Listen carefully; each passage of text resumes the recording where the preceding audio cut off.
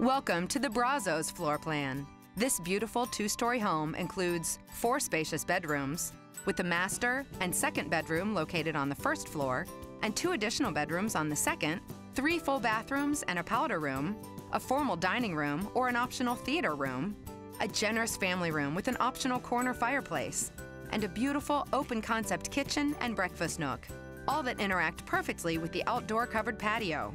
The master suite of the Brazos, located on the first floor, includes a private bathroom retreat that features a step-in shower, a soaker garden tub, his and her vanities, and a giant walk-in closet.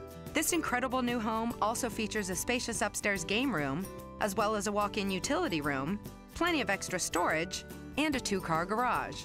And because Lennar is the only home builder in Dallas-Fort Worth to offer everything's included homes, the Brazos also includes all of the energy features, appliances, and luxury designer upgrades that you've come to expect from Lennar.